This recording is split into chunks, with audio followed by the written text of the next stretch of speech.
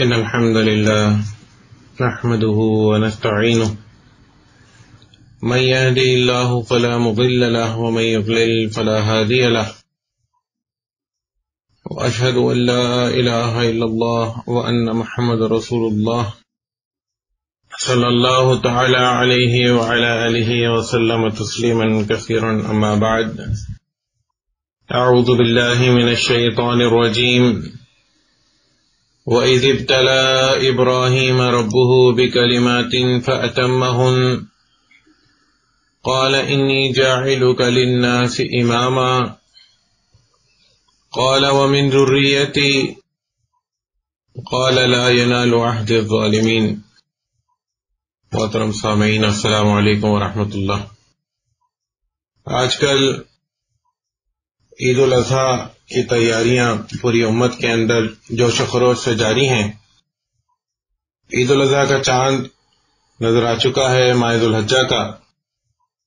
और पूरी उम्मत पूरे जोश खरोश से सुन्नत इब्राहिमी अदा करने की तैयारियों में मसरूफ नज़र आ रही है। अगर एक चीज़ नहीं नज़र आ रही तो वो अंदाज इब्राहिमी है, वो सुन्नत इब्राहिमी है। ये मफकूद नज़र आता है आज उम्मत के अंदर। वही जो एक शायर ने कहा कि बाज़ार तो सजा दिए शान इब्राहिमी दिखाने के लिए। अकीदा इब्राहिमी क्या है, ये हमने बुला दिया। सूरतुल बकरा, आयत नंबर 124 में जो भी तिलावत की गई, अल्लाह सुबहाना व ताला फरमाते हैं व इजिब तला इब्राहिम रब्बुहु बिकलिमातिन फअतम्महुन। कि याद करो जब इब्राहिम सलाम को उनके रब ने चंद बातों में आजमाया तो वो उन तमाम आजमाइशों में पूरे उतरे।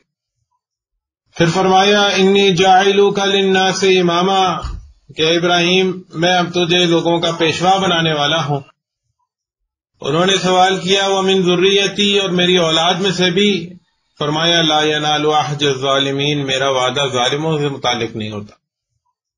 तो उन्हीं चंद आजमाई गई बातों में एक बात ये भी थी, जिसकी मुनासबत से ईद उल अजहा के दिन हम जानवरों की कुर्बानी पेश करते हैं, अल्लाह सुबहाना व ताला की जनाब में, कि एक बड़ी उम्र में अल्लाह तबारक व ताला ने उनको औलाद से नवाजा, और औलाद से नवाजने के बाद अभी कमसन ही है कि अल्लाह का हुक्म आता है कि मक्का के पास इसको और इसकी वालदा को छोड़ाओ। और वहाँ उस बेआबा के अंदर वो छोड़ आते हैं। सूर इब्राहिम की आखिरी आयात में तस्करा भी किया गया है कि रब्बी इन्नी अस्कंतु मिन जुर्रियती बिवादिन गैरी जरइन इंदा बैतिकल मुहर्रम। कह रब, मैं अपनी औलाद को इस बेआबो गया जगह में छोड़कर जा रहा हूँ तेरे पाक घर के पास। और वजह सिर्फ़ यही है कि रब्बना युकीम सलाह, कि ये इस घर को आबाद करें बड़ा होने के बाद और यहाँ सलाह का क्याम अमल में आए। तेरे सामने माथा टेकने वाले हों, तेरे घर में और तू राज़ी हो जाए। और फिर अल्लाह सुबहाना ने उनके खुराक का बंदोबस्त किया। आब जमजम के ज़रिए लोगों का रुख उस तरफ़ कर दिया जो इब्राहिम सलाम की दुआ थी और फिर वो एक बस्ती बसाई गई। और अब वो बेटा जब जवान हुआ है, दौड़ धूप करने की उम्र को पहुँचा है तो सूरत उसाफात के अंदर अल्लाह सुबहाना तला ने यह वाक़ नकल फरमाया है कि अब इब्राहिम सलाम जो पहले भी आया करते थे कभी कभी मिलने अब दोबारा आए और कहने लगे, या बुनैया, इन्नी अराफिल मनामी अन्नी अजबाहुक ऐ मेरे बेटे, मैंने ख्वाब में देखा है, मैं तुझे विवाह कर रहा हूँ और अंबिया के ख्वाब वही होते हैं। बेटा भी नबी है, बाप भी नबी है, समझ गए हैं, ये अल्लाह का हुक्म है। और यही अंदाज इब्राहिमी रहा है कि अल्लाह का जो भी हुक्म आया है, फ़ौरन सर तस्लीम खम किया है। न कोई हीलो हजत है, न कोई दलाइल पेश किए गए हैं, न उजुर पेश किया गया है, बल्कि फ़ौरन सर तस्लीम खम किया गया है। पूछते हैं, फंजुर माजा तरा, तू क्या देखता है, तू क्या समझता है, अब क्या करना चाहिए? तो बेटा जवाब देता है, या अब तिफ़ाइल उमर ए अब्बा, जान कर गुजरिए, जिसका आपको हुक्म दिया गया है, सतजिदुनी इंशा अल्लाह मिनसाबिरीन आप इंशाअल्लाह मुझे सब्र करने वालों में पाएँगे। तो असल कुर्बानी का आगाज़ यहाँ से होता है कि अल्लाह का हुक्म आया है उस औलाद के लिए, जो एक बड़ी उम्र में अता की गई, और उसके फ़ौरन बाद अल्लाह के हुक्म पर उनसे जुदा भी हो गए, और अब वो दौड़ धूप करने की उम्र को पहुँचा है तो अल्लाह का हुक्म आया है कि इसको जिबाह कर दो, और बाप जिबाह करने के लिए तैयार है, बेटा जिबाह होने के लिए तैयार है। ये असल में वो कुर्बानी है। फिर फरमाया, फलम्मा असलम जबीन। फिर जब दोनों ने सरे तस्लीम खम कर दिया और इब्राहिम ने बेटे को पेशानी के बल लिटा दिया वनादईना इब्राहिम तो हमने इनको पुकारा, ए इब्राहिम, कद सदक कर रोया।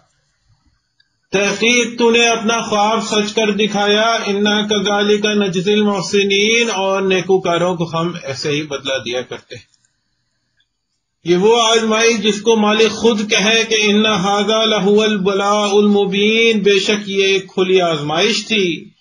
वफदई नाहू बिन अजीम, और हमने एक बड़ी कुर्बानी को इनका फिदिया बनाया, जो हदीस के अंदर एक मेंढे का ज़िक्र आता है उस अहमद की रिवायत के अंदर। कि अल्लाह का हुक्म जिबा करने का था, बाप जिबा करने को तैयार है, बेटा जिबा होने को तैयार है, यहाँ तक कि लिटा दिए गए हैं। और अभी अगले ही लम्हे छुरी चलने ही वाली थी कि अल्लाह की तरफ़ से निदा आती है। कि सलाम इब्राहिम। सलामती है इब्राहिम तेरे ऊपर। तू अपनी आजमाइश में सफल हो चुका है, क्योंकि अल्लाह को ये जो आज उस कुर्बानी की याद को ताज़ा रखने के लिए जानवरों की कुर्बानी का जो सिलसिला अल्लाह सुबहाना ताला ने क़यामत तक के लिए जारी किया है, इससे भी अल्लाह को न खून पहुँचता है, न गोश पहुँचता है। वला की नाल तकवा मिनकुम, अल्लाह को तुम्हारा तकवा पहुँचता है। तुम्हारे दिल में कितना डर है रब के लिए। तुम्हारे अंदर कितनी तड़प है परवरदिगार के रिजवान को हासिल करने के लिए।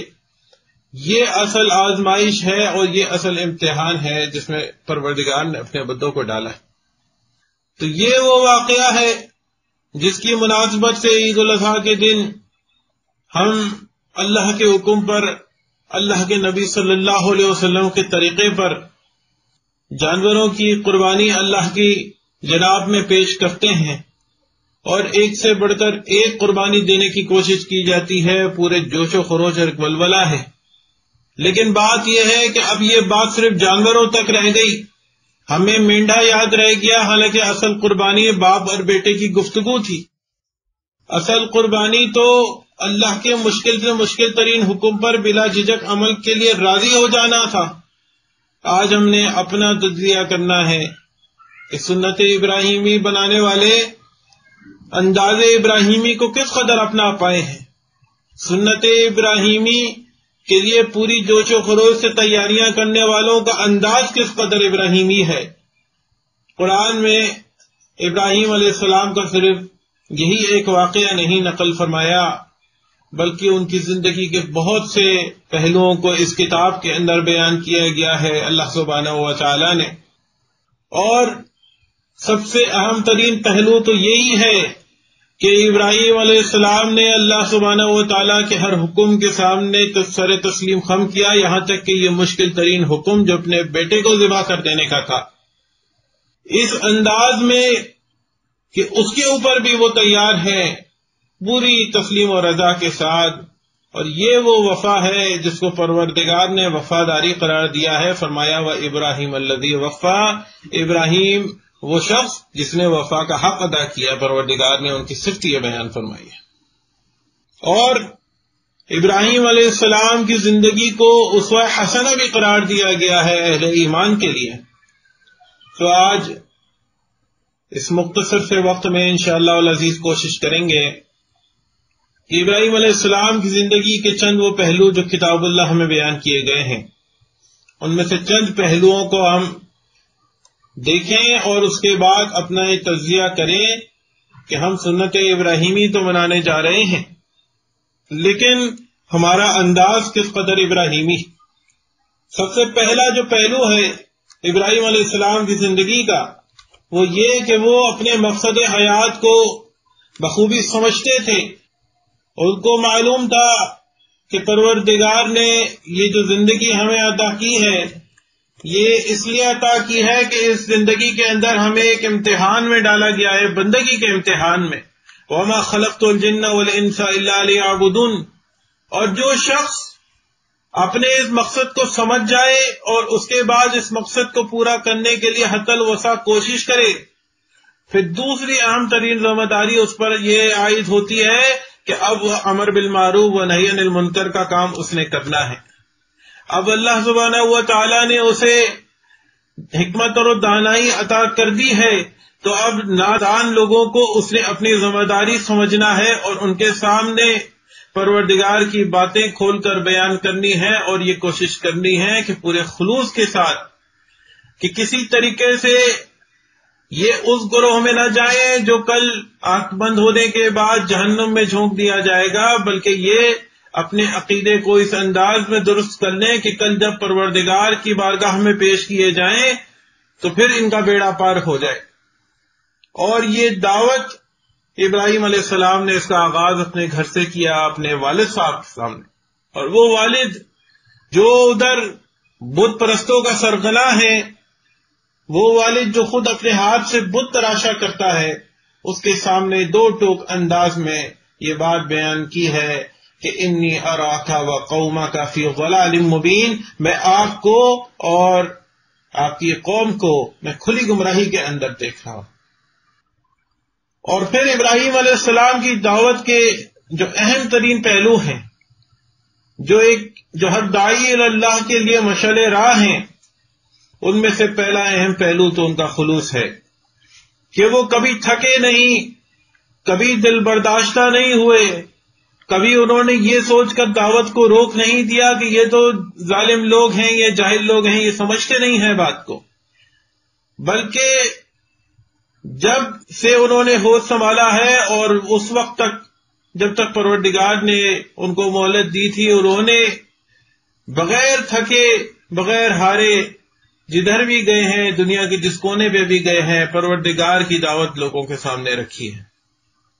और दावत का अंदाज आप देखेंगे, एक तो बहुत सी जो उनकी दावत है, वो तो सवालिया अंदाज के ऊपर मुहित है, और ये एक बहुत असर अंदाज होता है कि आप सामने वाले को कुछ सुनाने के बजाय उससे कोई ऐसा सवाल करे जिससे उसके जहन के ऊपर चोट पड़े और वो सोचने पर मजबूर हो जाए। ये एक बेहतरीन अंदाज है जो इब्राहिम अलैहिस्सलाम का अंदाज हमें कुरान के अंदर मिलता है। और दूसरी अहम चीज़ ये कि दावत के अंदर उन्होंने हमेशा जज्बात के बजाय दलील को मुकदम रखा है। दलील का जवाब दलील से दिया है, जज्बाती नहीं हुए हैं। जैसे सूरत बकरा में आयतल कुर्सी के फ़ौरन बाद अल्लाह सुबहाना तला ने उनका वाक़ नकल फरमाया कि अलम तरजी हाज इब्राहिम फ़ी रबी अन मुल्क। कि जब वो शख्स जिसको अल्लाह ने ज़मीन में कुछ अरसे के लिए ज़मीन के किसी खत्ते की बादशाही अता की थी। और वो अब झगड़ा है इब्राहिम सलाम से उनके रब के बारे में। और इब्राहिम सलाम ने दलील पेश की कि रबी अल्लदी युही व युमीत। मेरा रब तो वो है जो ज़िंदगी और मौत देता है। उसने जवाब दिया, अना अना व उम्मीद मैं भी ज़िंदगी देता हूँ, मौत पर कादिर हूँ। मुफसरीन ने एक वाक़ नकल किया है। कि एक जो कैदी है, जिसकी मौत का फैसला हो चुका था, उसको, उसकी आज़ादी का परवाना उसने जारी कर दिया और एक आज़ाद आदमी को पकड़ के सदाए मौत दे दी और अपने तय ये समझने लगा कि मैं भी रब के बराबर आ गया हूँ, मैं भी ज़िंदगी और मौत दे सकता हूँ। अब इब्राहिम सलाम बजाय इसके कि बात को मजीद उलझाते, जाहरी बात है कि रब की ज़िंदगी और मौत देना और इस आदमी का ज़िंदगी और मौत देना यह तो हरगिज बराबर नहीं था। लेकिन उन्होंने एक नई दलील उसके सामने पेश की। यानी दावत को बिल्कुल साफ़ रखा। मुनाजराना अंदाज से परहेज किया। फरमाया इन अल्लाह यती बिशमसी मिनल मशरक़ी फ़ाती बिहा मिनल मगरब।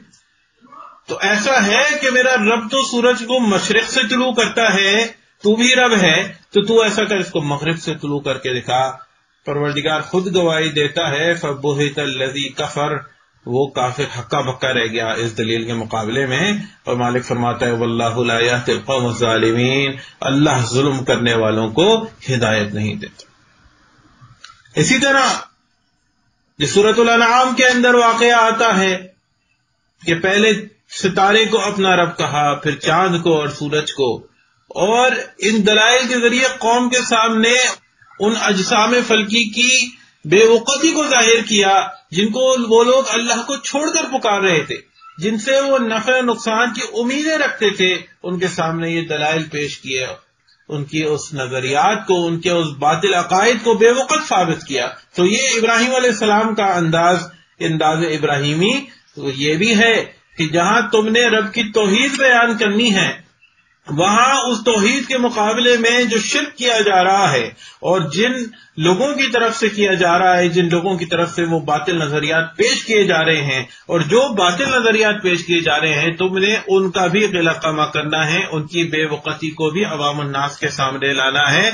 ला इलाहा इल्लल्लाह। पहले तमाम इलाहों का इनकार करना है, तमाम तवाकीद का कुफर और इज्तनाब करना है, उसके बाद अल्लाह की उलोहियत के ऊपर ईमान लेकर आना है। और जहाँ कहीं मामला आया है हक और बातिल के अंदर, जब सवाल किया गया है तो बिल्कुल कतई उनका जवाब रहा है कि जब उनसे कहा गया, पूछा इब्राहिम सलाम ने माहज ही तमासिर उल्लती तुम लहा आकिफून? क्या मूर्तियाँ हैं जिनकी तुम अल्लाह को छोड़कर इनके सामने तुम बैठे रहते हो? फरमाया वजद ना आबा अना लहा आबिदीन। हमने पाया है, अपने आबा उजदाद को इनकी इबादत करते हुए तो फ़ौरन जवाब दिया, लकद कुन तुम अन तुम बाबाउकुम फ़ी गलाल मुबीन। तहकीक, तुम भी और तुम्हारे आबाउदाद भी जो इनकी इबादत करते थे, वो खुली गुमराही के अंदर थे। तो ये अंदाज इब्राहिमी है। ये नहीं कि हम अखलाकियात के नाम पर, कहीं सब्र की गलत तशरीहात के नाम पर हमारे सामने कुफर शिर किया जा रहा है और हमारे कुआ में जुम्बिश ही नहीं होती, हमारे माथे के ऊपर शिकन ही नहीं पड़ती ये अंदाज इब्राहिमी नहीं है।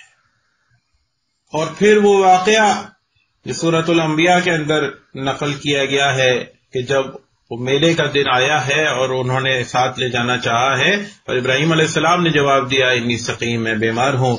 और फिर जब वो चले गए हैं तो उसके बाद वो उनके उस बुतखाने के अंदर दाखिल हुए हैं जो अल्लाह के साथ शरीक ठहराया जाता था उन बुतों को। और हथौड़ा लिया है और पाँच पाँच कर दिया है उनके तमाम मबूदान बातला को, सिवाय एक के तदबीर के लिए सबसे बड़े को छोड़ दिया। और जब वो लौटे हैं, और उसके बाद उन्होंने अपने इलाहों का यह हशर देखा है, कहने लगे, ये कौन कर सकता है?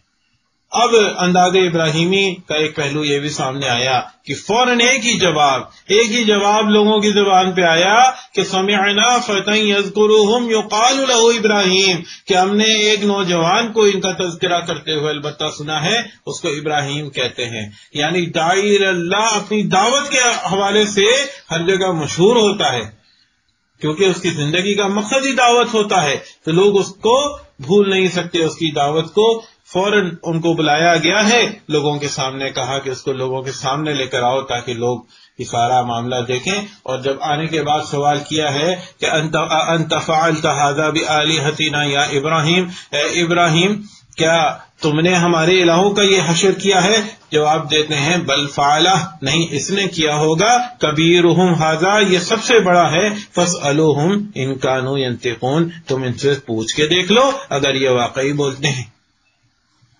तो ये एक ऐसी दलील थी कि जज्बाती हुए बगैर एक ऐसी दलील उनके सामने पेश की गई है कि माली खुद गवाही देता है कि फराजाऊ इला अनफुसिहिम फकालू इन्नकुम अंतुम जालिमून। फ़ौरन वो अपने जहनों में सोचने पर ये मजबूर हो गए हैं कि हकीकत में तो तुम ही जालिम हो, ऐसों की तुम इबादत करते हो। जो ये तक नहीं बता सकते कि हमारा ये बुरा हजर किसने किया है। लेकिन फिर शैतान ने उनकी मत मारी। सुम्मा नुकीसु अलारसिम फिर उनकी बदकिस्मती उन पर गालिब आई। कहने लगे, लकद आलिमता मा हा इब्राहिम, तुम जानते भी हो, ये बोल नहीं सकते।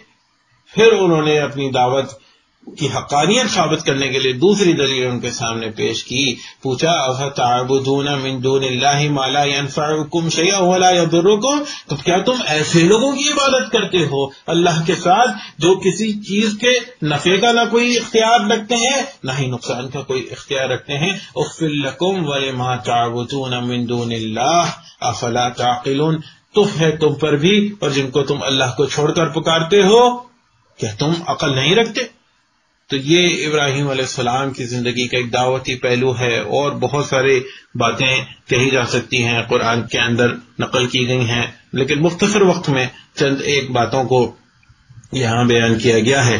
अब बात यहाँ नहीं रुकती, बल्कि पहले तो अकीदा ये था मुशरकिन का कि ये हमारी मदद करते हैं और अब ये कहते हैं कि इससे बदला लो और अपने इलाहों की मदद करो, अगर तुम कुछ करना ही चाहते हो। और उसके बाद इब्राहिम अलैहिस्सलाम के लिए आग का अलाव तैयार किया गया। लेकिन जिस आदमी को अपनी दावत की हकानियत के ऊपर यकीन हो, जिस आदमी को इस बात पर यकीन हो कि जो दावत में लोगों के सामने पेश कर रहा हूँ, ये उस रब की तरफ़ बुलाने वाली दावत है जिसके हाथ में आसमान और ज़मीन की बादशाही है। और उसके हुक्म के बगैर एक पत्ता इस कायनात के अंदर नहीं हिलता तो ये उसके हुक्म के बगैर मुझे कैसे अदाव दे सकते हैं? और अगर उसने मेरे नसीब में कोई आजमाइश लिखी दी है तो सारी दुनिया मिलकर भी उसको नहीं दूर कर सकती। ये वो नज़रिया, ये वो अकीदा, ये वो यकीन होता है जो किसी भी मोमिन को, किसी भी इब्राहिमी शख्स को जो इब्राहिम सलाम के मिल्लत को सही मानों में अपनाने वाला है, वो उसको दुनिया के आगे झुकने नहीं देती, किसी की नज़रों में गिरने नहीं देती। और ये इब्राहिम अलैहिस्सलाम के साथ हुआ कि आग का अलाव तैयार किया गया है, और वो को मालूम है कि ये मेरे लिए तैयार किया जा रहा है, और रब से दुआ की है, और रब का हुक्म आया है, या नारू कूनी बरदों व सलाम अला इब्राहिम। ए, आग ठंडी हो जा और इब्राहिम के लिए सलामती वाली बन जा। हर चीज़ का खालिक परवर दिगार है और मालिक मदद फरमाता है अपने बंदों की। न सिर्फ़ ये कि अंबिया की, बल्कि अहले ईमान बंदों की भी। आप सूरतुल मोमिन में जो कौमें फिरौन के मर्द मोमिन का चौथे और पाँचवें रुकू के अंदर पूरा खुतबा बयान किया गया है और उसके बाद फिरौनियों के गर्क होने का वाकया और उसके बाद अल्लाह के सामने जब वो एक दूसरे से झगड़ने हैं। और इन्ना कुन्ना लकुम तबान फहल अंतुम मुखनून अन्ना नसीबम मिनन्नार। परवरिगार कहता है, उस दिन ये कमज़ोर लोग अपने सरदारों से कहेंगे कि हमने तुम्हारी दुनिया में पैरवी की तो कुछ अजाब में हमारी तखफीफ करवा सकते हो। तो वो क्या जवाब देंगे? कि इन्ना कुल्लुन फीहा इन इबाद। हम भी तुम्हारे साथ इसी अजाब के अंदर जल रहे हैं और अल्लाह अपने बंदों के दरमियान फैसला कर चुका है। फिर परवरदिगार कहता है, वकाल लजीन फिन्नारी खजानती जहन्नम। फिर वो सारे जहन्नमी मिलकर दरख्वास्त करेंगे जहन्नम के जो इंतजामिया होगी उनसे उदरू रब्बकुम युखफिफ मिनल अजाब। आप ही अपने रब से कुछ दुआ कीजिए, हमारे आजाब में थोड़ी सी तकफीफ हो जाए। तो वो जवाब देंगे, अवलम तकु ततीकुम रसुलकुम बिल के क्या ऐसा नहीं है कि तुम्हारे पास हमारे रसूल वादे निशानियाँ लेकर आए थे? तो कहेंगे, बला, ऐसा तो है। जवाब देंगे, फिर तुम अपनी दुआ खुद ही करो, वमा दुआउल काफिरीना इल्ला फ़ी और काफिरों की दुआ, उसका कोई फ़ायदा नहीं है आज, वो अंधेरे में ही है। फिर वो जो बात कहेंगे, वो अहले ईमान के ईमान को बढ़ा देने के लिए एक बहुत बड़ी परवरदिगार की तरफ़ से बात बयान की गई है। कि वो कहेंगे इंदाला ननसुरु रसूलना वल्लजीना आमनु फिल हयात दुनिया व यौम यकूम अशहाद बेशक हम तो मदद किया करते थे अहले रसूलों की और अहले ईमान की दुनिया की ज़िंदगी में भी, और आज गवाहियों के दिन भी हम उनकी मदद करेंगे। यौम लालिमीन माजरतुहुम वलहुम लानतु वलहुम सोदार आज का दिन जब जालिमों के लिए न कोई माजरत काम आएगी और उनके नसीब में आज सिर्फ़ लानत और एक बुरा घर, बुरा ठिकाना है। तो ये इब्राहिम सलाम की जो मदद अल्लाह हुआ ने उस दिन की कि आपको हुक्म दिया, या नारुकूनी बरदों व सलाम इब्राहिम कि ए आग ठंडी हो जा और इब्राहिम के लिए सलामती वाली बन जा, ये मदद हर ईमानदार की भी की जाती है। बशर्त ये कि वो अल्लाह पर तवक्ल करने वाला हो, वो अल्लाह के अलावा किसी और से डरने वाला ना वो उन लोगों का जानशीन बनकर अपने आप को साबित करे जिनकी ये सिर्फ़ है कि अल्लाजीना युबल्लिगून रिसालात व यखशौनहु वला यखशौन अहदन कि जो रिसालत का न सिर्फ़ ये कि हक अदा करते हैं, बल्कि वो डरते हैं तो सिर्फ़ अल्लाह से डरते हैं। अल्लाह के अलावा किसी और से नहीं डरते। जो अल्लाह पर यकीन करे तो फिर परवरदिगार उसके लिए इस अंदाज के रास्ते निकालता है। तो आज सुन्नत इब्राहिमी तो अदा करनी है, लेकिन पहले अपना तजिया भी हमें करना होगा, क्या हम वाकई इब्राहिमी भी हैं या नहीं? जैसे शुरू में सूरतुल बकरा की जो तिलावत करदा आयत थी, फरमाया, इन्नी जाहिलू का लिन्ना से इमामा, हमने तुझे लोगों का इमाम बनाया है। इमाम कौन होता है? रहनुमा, जिससे लोग रहनुमाई हासिल करते हैं। तो असल इब्राहिमी तो वो हुआ जिसने वाकई इब्राहिम से रहनुमाई हासिल की। जैसे मुशरकिन अरब भी अपने आप को इब्राहिमी कहते थे, लेकिन अल्लाह ने उनके इस दावे को छुटला दिया। फरमाया, इन्ना भी इब्राहिम लजीन तबाऊ इब्राहिम से सबसे नज़दीक तो वो लोग हैं, जिन्होंने उनकी पैरवी की। वो पैरवी करने वाले कौन थे? वो नबी सल्लल्लाहु अलैहि वसल्लम के साहबा थे। असल इब्राहिमी कौन थे? वो असाब थे, जिन्होंने जब ये पाया कि हमारे कौम का दीन ये वो दीन नहीं है जो हमें दारुसलाम पे पहुंचाएगा बल्कि ये तो हमें जहन्नम का ईंधन बना के रख देगा। तो उन्होंने उस, उस दीन से किनारा कशी वाज तौर पर इख्तियार की है। अल्लाह ने उनकी भी मदद फरमाई। या वो साहिब यासीन जिसका मुकाबला पूरी कौम के साथ है और वो अकेला खड़ा है और वो कहता है या कौम तबुल मुरसलीन ए मेरी कौम के लोगों इन रसूलों की पैरवी करो। इतबू मल्ला यसलुकुम अजरों वह मोहतदून इनकी पैरवी करो, ये तुमसे किसी अजर का सवाल नहीं करते और ये हिदायत याफ्ता है। और मुझे क्या हो गया है कि मैं उस हस्ती की इबादत ना करूँ, जिसने मुझे पहली दफ़ा बगैर किसी नमूने की तख्लीक किया था। और उसी की तरफ़ मुझे लौट कर जाना है। तो ये मिसालें हैं इब्राहिमी लोगों की, अल्लाह समाना तला ने अपनी किताब में बयान की या वो जैद बिन अमर बिन नफील जिनका तस्करा आता है नबी सल्लल्लाहु अलैहि वसल्लम की बेसत से पहले ईमान लाने वाले। क्योंकि ये दीन इब्राहिमी, ये दीन फितरत है। इसके ऊपर ही हर इंसान पैदा होता है। कुल्लू मौलूदी उलद वाल फितरत। हर पैदा होने वाला दीन इब्राहिमी पर पैदा होते दीन फितरत पर पैदा होता है। और अल्लाह की तोहीद ये इस कायनात के चप्पे चप्पे में नज़र आती है, बशर्त ये कि इंसान को अपना मकसद हयात याद हो। और वो जैद बिन अमर बिन नफील, जिनके बारे में सही बुखारी किताब में मनाकबुल अंसार में पूरा एक बाब बांधा गया है, और इनके बारे में आता है कि नबी सल्लल्लाहु अलैहि वसल्लम के सामने एक दस्तरखान बिछाया गया। तो जैद बिन अमर बिन नफील ने खाने से इंकार कर दिया। और जिन लोगों ने दस्तरखान बिछाया था, इनसे कहा कि अपने बुतों के नाम पर जो तुम जबिया करते हो, मैं ऐसे नहीं खाता। मैं तो बस वही जबिया खाता हूँ, जिस पर अल्लाह का नाम लिया गया। ये नबी अलैहिस्सलाम की बेसत से पहले की इनकी दावत है। अभी कुरान का नजूल नहीं हुआ। और उनकी दावत क्या थी? बहुत सादा दावत।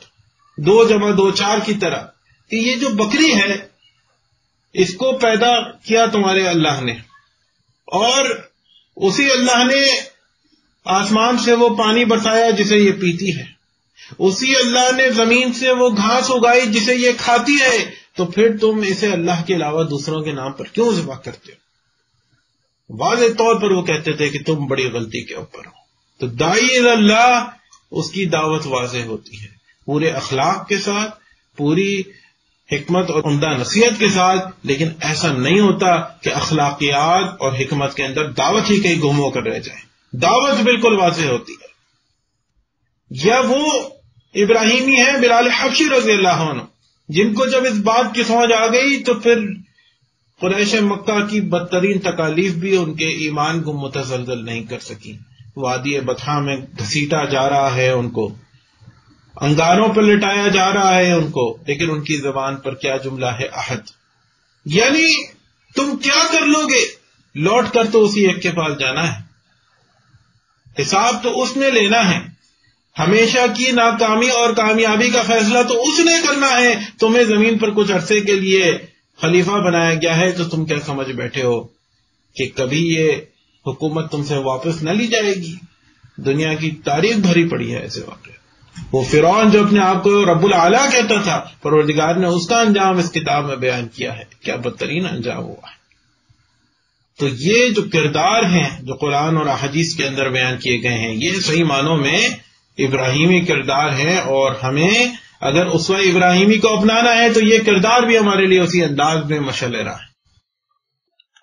और इब्राहिम सलाम की ज़िंदगी का एक इंतहाई अहम पहलू ये कि इन हुक्म हुक्म सिर्फ़ अल्लाह का है। और किसी इंसान के ये शायान शान नहीं कि वो अल्लाह का बंदा होने के बावजूद अल्लाह का हुक्म आए तो उसके बाद फिर वो अपना इख्तियार भी समझे कि मैं इसको मानू या ना मानू। इब्राहिम सलाम को अल्लाह सुबहाना व ताला ने जब भी और जो भी हुक्म दिया है, कभी उन्होंने पसो पेश नहीं किया, बल्कि हमेशा सर तस्लीम खम किया। और इब्राहिम सलाम के जो सच्चे पैरोकार साहब इकराम रज़ी अजमैन उनका भी यही अंदाज था, अंदाज इब्राहिमी। आप शराब की हरमत का वाक़ ले लीजिए जही बुखारी किताब तफासिर में आता है। कि अनस रज़ी से मरवी रिवायत है, कहते हैं कि जब शराब फेंकी गई तो मैं अबू तलहा के यहाँ सबको शराब खिला रहा था। और उस वक्त हरमत शराब का हुक्म नाजिल हुआ कि नबी सल्लल्लाहु अलैहि वसल्लम ने एक शख्स को हुक्म दिया कि मुनादी कर दे, और वो मुनादी करता हुआ इधर आया तो अबू तलहा ने कहा कि देखो ये क्या कह रहा है? और मैं बाहर आया तो एक मुनादी करने वाला पुकार पुकार कर कह रहा था कि, ए लोगों, खबरदार हो जाओ, आज से शराब हराम कर दी गई है। और उसके बाद अबू तला ने फरमाया, जाओ शराब फेंक दो। और अनस रजील्ला कहते हैं कि उस दिन मदीना के रस्तों में शराब बही फिर रही थी।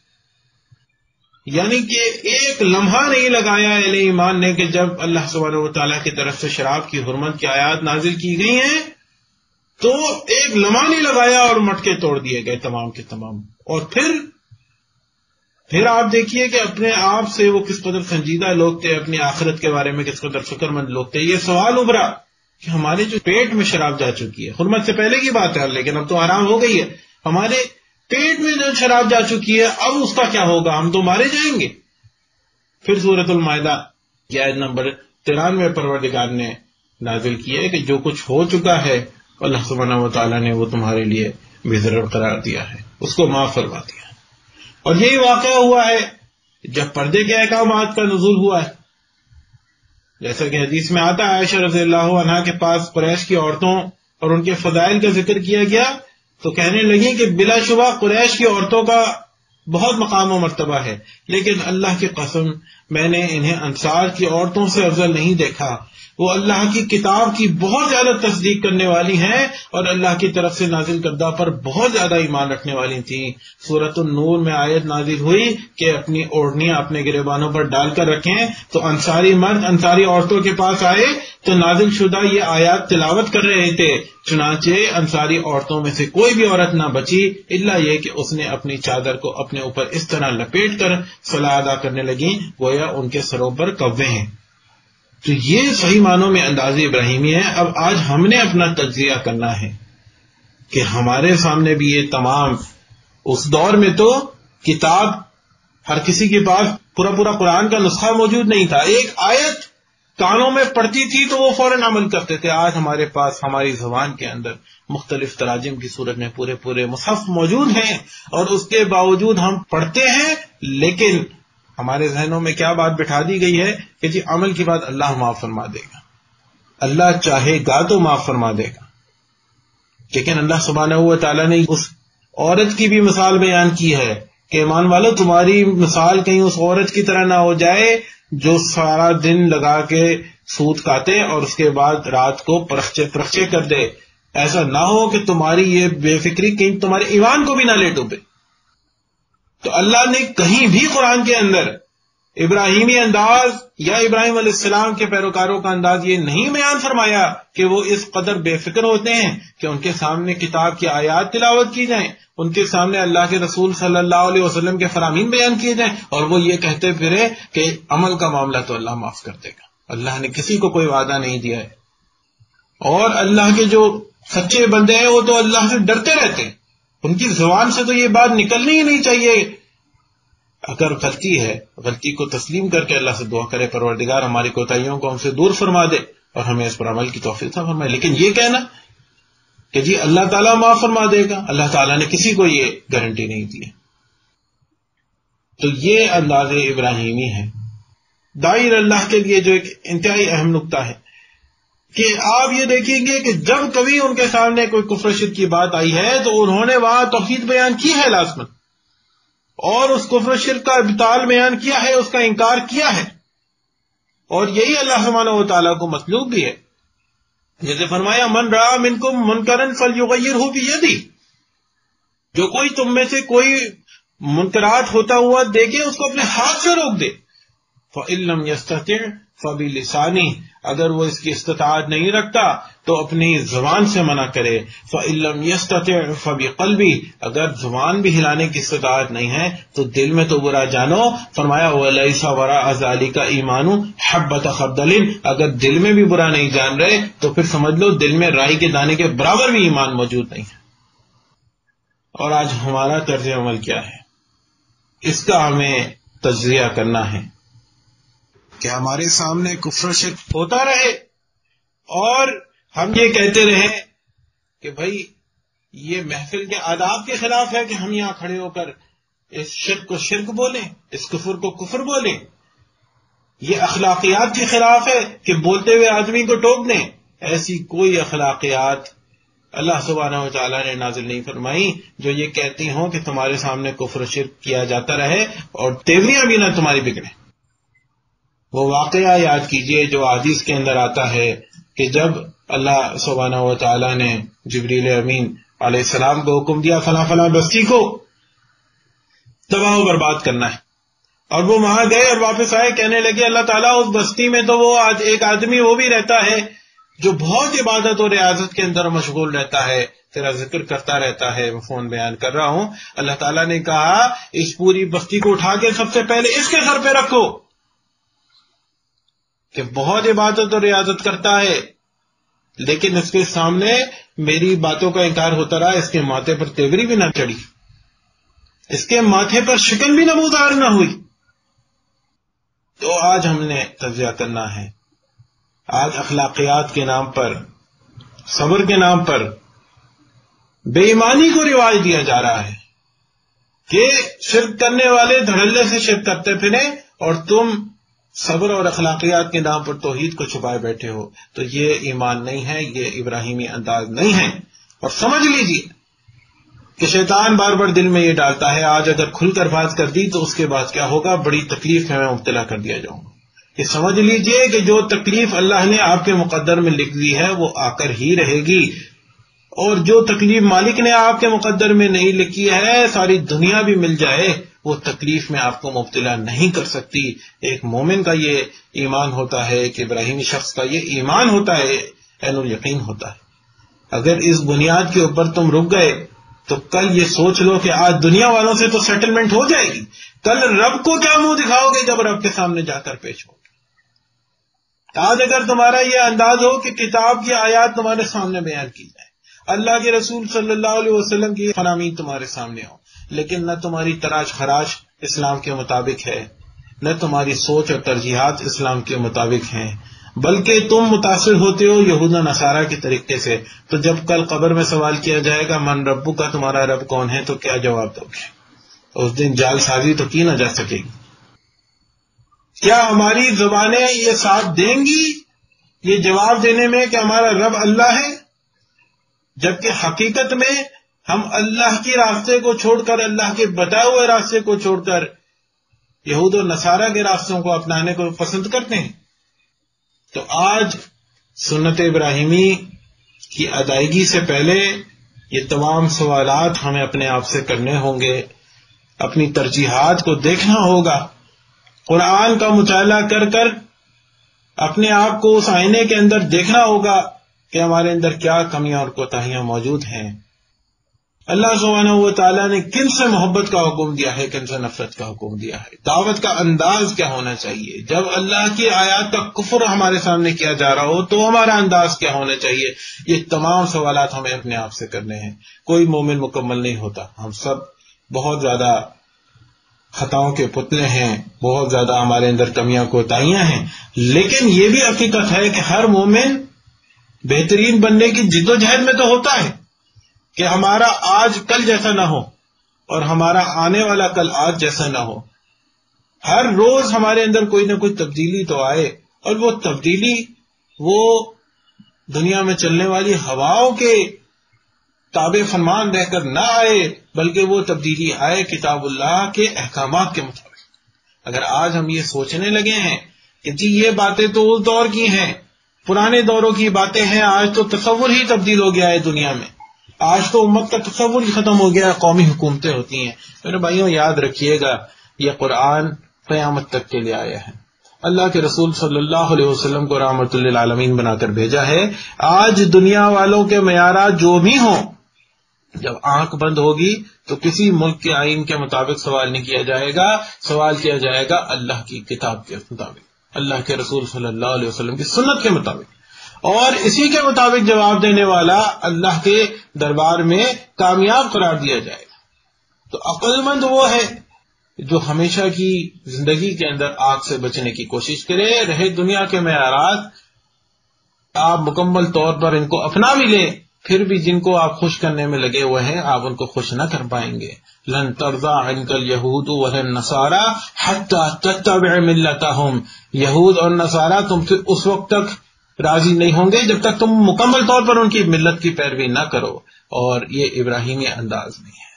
इब्राहिम सलाम, माँ काना इब्राहिम यहूदी वला नसरानी वला काना हनीफ मुस्लिमा, व माँ काना मिनल मुशरकिन। न इब्राहिम सलाम यहूदी थे, न नसरानी थे। वो यकसू मुस्लिम थे। यकसू मुस्लिम का क्या मतलब होता है? यानी जिसकी डायरेक्शन एक ही हो। जिसकी डायरेक्शन यही हो कि बस जो अल्लाह का हुक्म आएगा उसकी पैरवी मेरे ऊपर लाजिम है और अल्लाह के हुक्म के मुकाबले में बड़े से बड़े ताकतवर का हुक्म हो। लेकिन अगर उसका हुक्म अल्लाह के हुक्म के मुकाबले में है तो फिर ला तातिल मखलूक थी मासीत खालिक। खालिक की नाफरमानी में मखलूक की अतात हरगिज नहीं है। ये यकसू मुस्लिम का यह अंदाज होता है कि वो सिर्फ़ एक ही माखज से हिदायत तलब करता है और वो माखज है अल्लाह का दिन। दीन हनीफ, दीन इस्लाम। अल्लाह सुबहाना तला से दुआ परवरदिगार, कौल फिल की तजाद से बचाए और हमें सही मानों में इब्राहिमी बनने की तोहफी पता फरमाए। ये मोहलत अमल परवरदिगार ने हमें तय की है। जब ये मोहलत खत्म हो जाएगी, उसके बाद फिर दूसरी मोहलत न दी जाएगी। एक लम्हा मजीद नहीं फराम किया जाएगा। परवरदिगार हमें हिम्मत तोफीक दे कि इसी दुनिया के अंदर, इसी मोहलत अमल के मौजूदगी के अंदर हम रुजू कर लें। कल रुजू करेंगे भी तो फ़ायदा नहीं होगा।